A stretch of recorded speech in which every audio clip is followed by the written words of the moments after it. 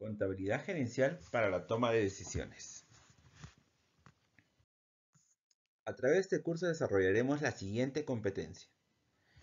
Conocer la estructura de la información financiera de la empresa y el análisis financiero a través del uso de herramientas de medición, ratios, para determinar cómo impacta en las decisiones de una empresa.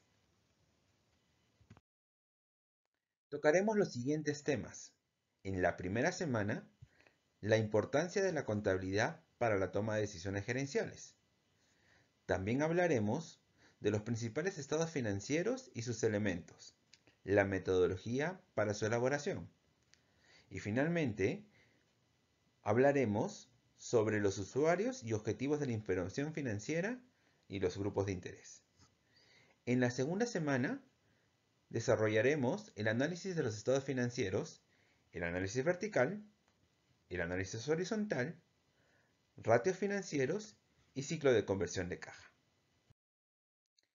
Nuestro sistema de evaluación, como ya es conocido por ustedes, será de la siguiente manera. Criterio. El primer criterio será la evaluación teórica.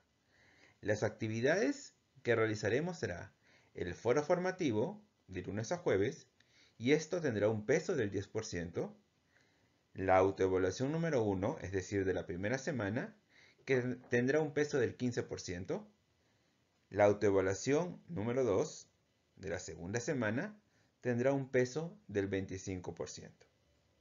Y finalmente tendremos la evaluación práctica, donde desarrollaremos un producto académico colaborativo en grupos de tres integrantes a través de la aplicación y también de elementos teóricos esto lo haremos el sábado de la segunda semana con un peso del 50%. Entonces, en el mundo actual es mucho mejor tomar decisiones informadas. Y en negocios, las malas decisiones nos pueden costar muy caro. ¿Conoces las herramientas de análisis financiero que te pueden ayudar a tomar las mejores decisiones?